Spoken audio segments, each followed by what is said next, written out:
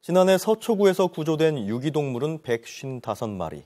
이 가운데 입양된 동물은 36마리로 23%에 머물렀습니다.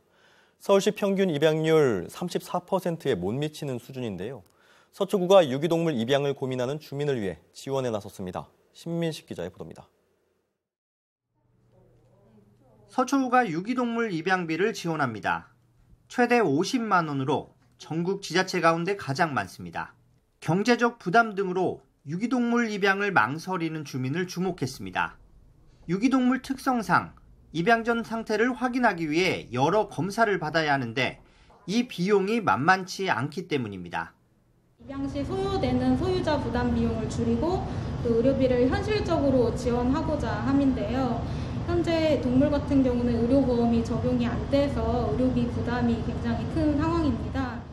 입양비로는 내장형 동물 등록과 질병 진단, 예방 접종, 미용, 중성화 수술, 펫보험 가입 등을 할 수 있습니다. 처음으로 이제 반려견을 키우다 보니 준비할 것도 많았는데 지원금이 있다고 해서 좀 뭐랄까 마음 편하게 병원을 갈 수 있었다 이런 느낌이 좀 있었고요. 이와 함께 입양을 신청한 주민에겐 입양 전과 후 1대1 교육이 이뤄집니다. 구에서 보호 중인 유기동물은 서초동물 사랑센터나 한국동물구조관리협회 홈페이지에서 확인 가능합니다.